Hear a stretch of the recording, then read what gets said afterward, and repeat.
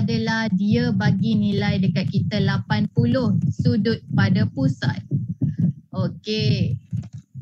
Cuba Anat ingat kalau uh, apa kalau ada sudut pada pusat dan dia ada buat segitiga macam ni. Segitiga apa orang panggil? Segitiga sama sama kaki.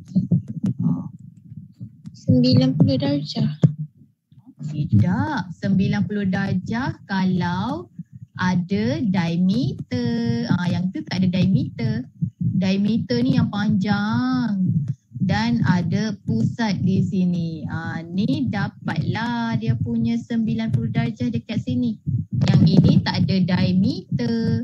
Okey, kalau tak ada diameter maksudnya kalau Anati jumpa macam ni, okey, kalau Anati jumpa macam ni ada sudut pada pusat dan dia buat segitiga, maksudnya kaki dia sama nilai sudut dia sama kita nak buat uh, apa yang kat sini K lah. Ah, dia sama dua ni.